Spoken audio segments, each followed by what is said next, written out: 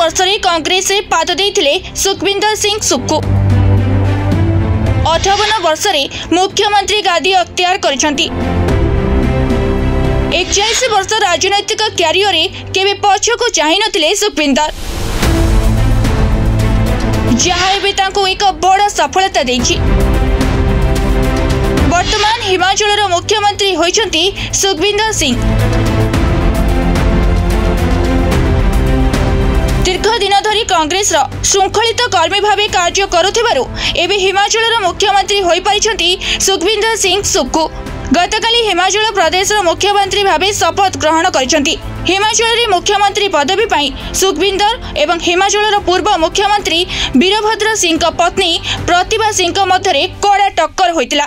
କିନ୍ତୁ ବିଧାୟକମାନେ ବହୁ ମାତ୍ରାରେ ସୁଖବିନ୍ଦରଙ୍କୁ ସମର୍ଥନ କରିଥିଲେ ଶେଷରେ ହାଇକମାଣ୍ଡ ସୁଖବିନ୍ଦରଙ୍କୁ ହିମାଚଳର ମୁଖ୍ୟମନ୍ତ୍ରୀ ବୋଲି ଘୋଷଣା କରିଥିଲେ ସୁଖବିନ୍ଦର ସତେଇଶ ମାର୍ଚ୍ଚ ଉଣେଇଶହ ଚଉଷଠି ମସିହାରେ ହିମରପୁର ଜିଲ୍ଲାର ନାଦନର ସେରା ଗ୍ରାମରେ ଜନ୍ମଗ୍ରହଣ କରିଥିଲେ ତାଙ୍କ ପିତା ରସିଲ ସିଂ ହିମାଚଳ ସଡ଼କ ପରିବହନ ନିଗମରେ ଡ୍ରାଇଭର ଭାବେ କାର୍ଯ୍ୟରତ ଥିଲେ। ଅତି ସାଧାରଣ ପରିବାରରେ ସୁଖବିନ୍ଦର ବଡ଼ ହୋଇଥିଲେ। ତେବେ ମାତ୍ର ସତର ବର୍ଷ ବୟସରେ ରାଜନୀତିରେ ପାଦ ଥାପିଥିବା ସୁଖବିନ୍ଦର ଦୀର୍ଘ ସମୟ ଲଢ଼େଇ ପରେ ଅଠାବନ ବର୍ଷ ବୟସରେ ବର୍ତ୍ତମାନ ରାଜ୍ୟର ମୁଖ୍ୟମନ୍ତ୍ରୀ ହୋଇପାରିଛନ୍ତି। ସୁଖବିନ୍ଦରଙ୍କ ଏକଚାଳିଶ ବର୍ଷ ରାଜନୈତିକ କ୍ୟାରିୟରରେ ବହୁ ଉତ୍ଥାନ ପତନ ରହିଛି।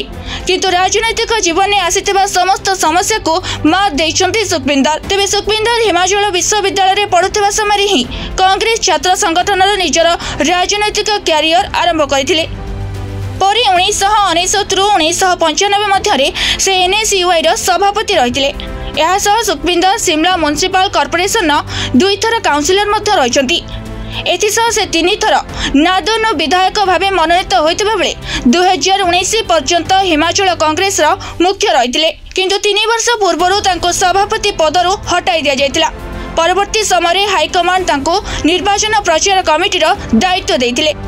ତେବେ ସୁଖବିନ୍ଦରଙ୍କ ରାଜନୈତିକ କ୍ୟାରିୟର ଯେତିକି ସଂଘର୍ଷମୟ ଥିଲା ସେତିକି ସମସ୍ୟାପୂର୍ଣ୍ଣ ମଧ୍ୟ ରହିଥିଲା। ତେବେ କେନ୍ଦ୍ରମନ୍ତ୍ରୀ ଅନୁରାଗ ଠାକୁରଙ୍କ ନିଜ ଗଡ଼ କୁହାଯାଉଥିବା ହିମରପୁରର ପାଞ୍ଚଟି ବିଧାନସଭା କ୍ଷେତ୍ରରେ ଚାରୋଟି କଂଗ୍ରେସ ଜିତିଥିବା ବେଳେ ଗୋଟିଏ ସ୍ୱାଧୀନ ପ୍ରାର୍ଥୀ ଜିତିଛନ୍ତି। ସେହି ଅଞ୍ଚଳରେ ବିଜେପି ଖାତା ମଧ୍ୟ ଖୋଲି ପାରିନାହିଁ ତେବେ ବିଜେପିର ପୂର୍ବତନ ମୁଖ୍ୟମନ୍ତ୍ରୀ ପ୍ରେମ କୁମାର ଧୁମଲ ତଥା ତାଙ୍କ ପୁତ୍ର କେନ୍ଦ୍ରମନ୍ତ୍ରୀ ଅନୁରାଗ ଠାକୁରଙ୍କ ଅଞ୍ଚଳ ହିମରପୁରରେ ବିଜେପିକୁ ମାଟିରେ ମିଶାଇବାରେ ସୁଖବିନ୍ଦରଙ୍କ ରଣକୌଶଳ କାମ ଦେଇଥିଲା।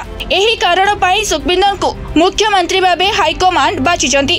ତେବେ ହିମାଚଳର ପନ୍ଦରତମ ମୁଖ୍ୟମନ୍ତ୍ରୀ ଭାବେ ସୁଖବିନ୍ଦର ସିଂ ସୁକୁ ଶପଥ ନେଇଥିବା ବେଳେ ଉପମୁଖ୍ୟମନ୍ତ୍ରୀ ଭାବେ ମୁକେଶ ଅଗ୍ନିହୋତ୍ରୀ ଶପଥ ଗ୍ରହଣ କରିଛନ୍ତି।